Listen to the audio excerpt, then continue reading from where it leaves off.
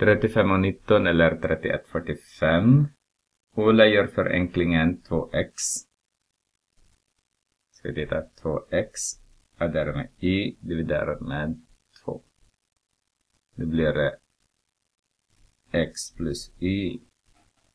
Eh, som han misstänker är fel. Är det så? Vi ska titta.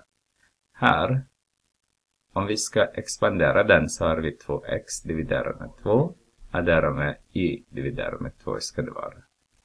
Så har vi x är därmed y dividerat med 2. Det här är det rätta. Eh, varför det går inte på det här sättet? Därför att 2x är därmed y dividerat med 2. Den här delen går inte, de har ingen gemensam faktor. Så det finns ingen så här 2, sen x plus y. Det går inte. Så att man kunde göra så. Men det gick inte. Ja. Så den där är, det här är fel. Det här är det rättaste. Om man vill, om man vill eh, få bort en av de två orden. Om man vill förenkla x istället.